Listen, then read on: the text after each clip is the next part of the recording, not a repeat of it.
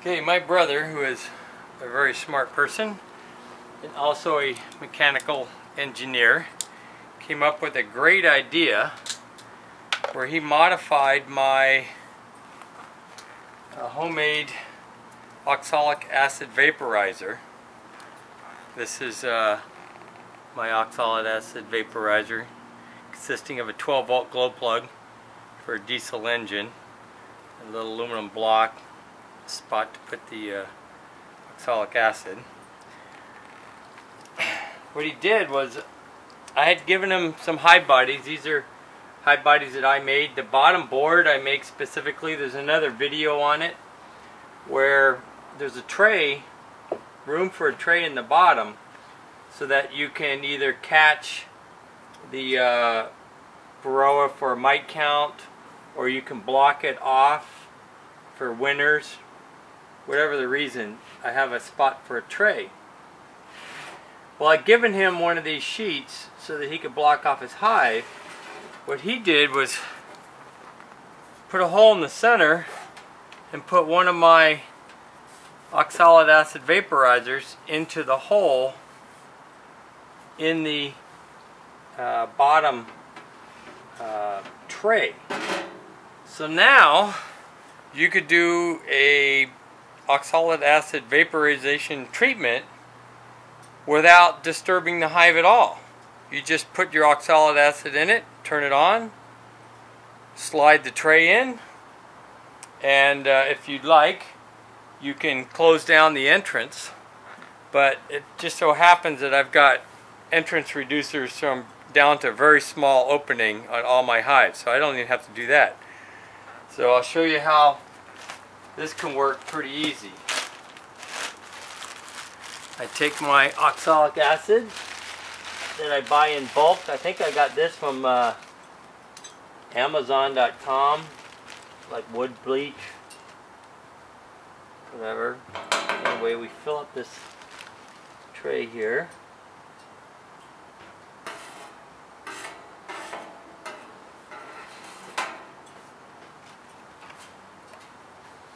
Okay, slide this in. Now, because it's attached to a big metal plate, it takes a couple minutes longer, not quite a couple, about a minute longer than it normally takes to vaporize it fully. Normally it's two and a half minutes maybe, so I let it go for three and a half minutes when it's on this plate. We need to make sure these do not short out against each other.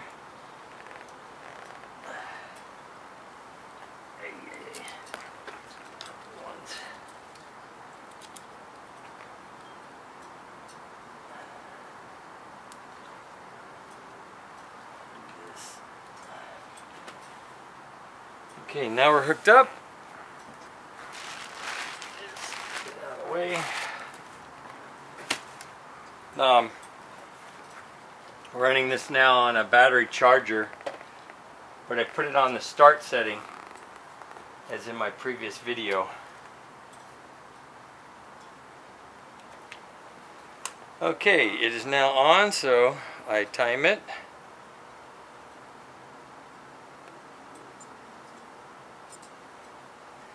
And we'll let it go for three and a half minutes. Now what I'm going to do is step out of the way because the gases that come out of here, the fumes, are quite noxious.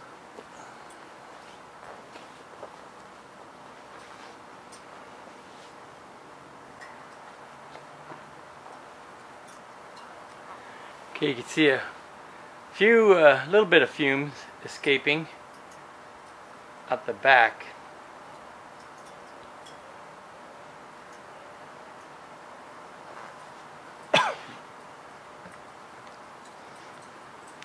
Around here and show you the entrance.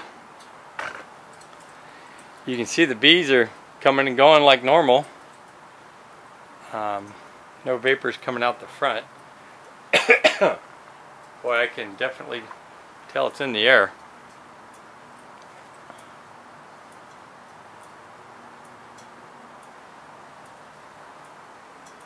No worry of getting stung.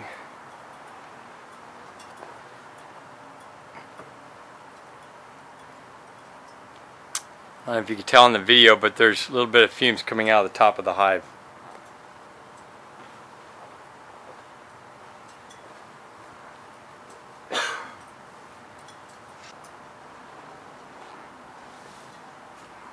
Okay, that was three and a half minutes. We just unplug it. At this point, we just need to let it cool off.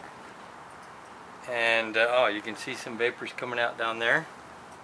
So there you have it. Very simple, simple vapor treatment without any disturbing of the bees.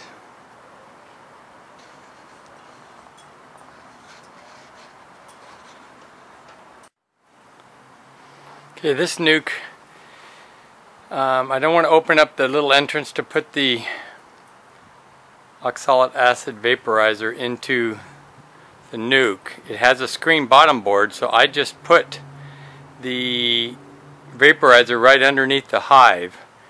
You can see some vapor coming up around the hive, but uh, eventually it actually starts coming out the, the lid, so I know it's getting through the hive completely.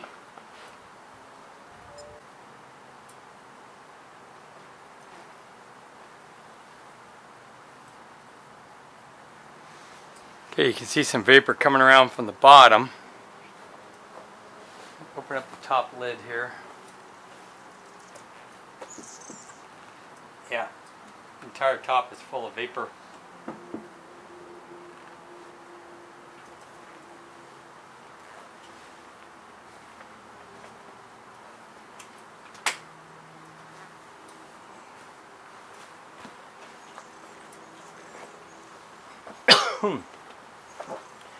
So there doesn't see a need to really close off the entrance or even the bottom uh, if you have a screen bottom board because the natural chimney effect of the vapors going up into the hive will saturate inside the hive. When I looked inside the top it was, that top part is the feeder. I have two jars in there, some pollen patty, but that was completely filled with vapor that means that uh, the entire hive is getting vaporized. So that works too. So I don't have a little skinny metal bottom board or little metal dividing board with the vaporizer in it so I just stick the uh, vaporizer directly under the hive.